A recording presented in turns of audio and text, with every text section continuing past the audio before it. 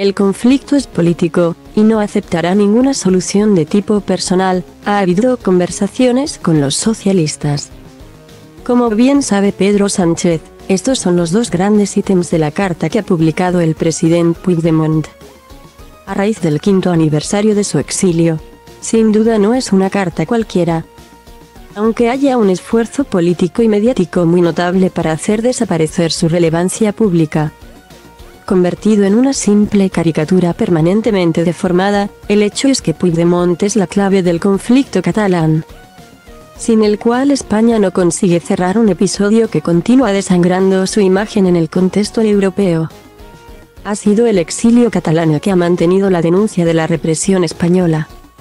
El que ha ganado a España en todos los juzgados donde ha habido causa y el que mantiene alzada la causa catalana. Con ERC domesticada y de vuelta al redil, los presos en la calle gracias a los indultos tutelados y la rueda judicial en permanente persecución a millares de encausados. El PSOE ha tenido el sueño húmedo de creer que, con un reforma del delito de sedición y la reducción de pena consecuente, podría cerrar el dolor de cabeza del exilio y, especialmente, la cuestión Puigdemont. Además, verbigracia de la hazaña de la derecha española, que solo concibe la porra. La amenaza y la prisión, la maniobra de la sedición le reforzaría la pátina progresista de cara a Europa. En este contexto es lógico que los socialistas hayan hecho viajes a Waterloo para plantear soluciones felices. Término que usó Z y ahora recoge el mismo Puigdemont. Estas soluciones irían en la dirección de los líderes independentistas condenados, paso por el Supremo. Condena, pena menor gracias a la modificación de la sedición e indulto final. Tres añitos en la cárcel, y la felicidad prometida, en definitiva, una enorme trampa para minimizar hasta el extremo el conflicto catalán, que estalló con toda su fuerza ciudadana en 2017, como una simple cuestión de cuatro líderes y unos cuantos exaltados. La respuesta de Puigdemont revienta estas expectativas que, por otro lado, ya conocían los socialistas. Precisamente gracias a las conversaciones celebradas, con todo, no es extraño que el PSOE intente la modificación de la sedición. Incluso dejando sin resolver el tema Puigdemont, porque este delito es una anomalía antidemocrática que no tiene parangón en ningún país de la Unión Europea.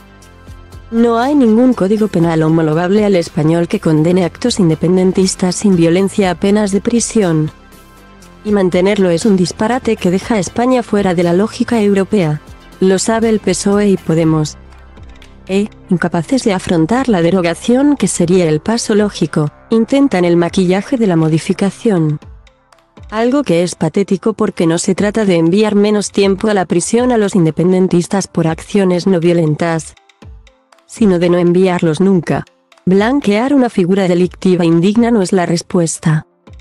Sería tanto como validar el le pego lo mínimo de infausta memoria, más allá de las voluntades del lado progre.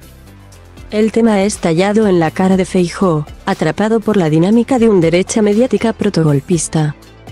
Retirarse del acuerdo sobre el CGPJ es un nuevo menosprecio a las reglas de juego que ellos mismos aseguran defender.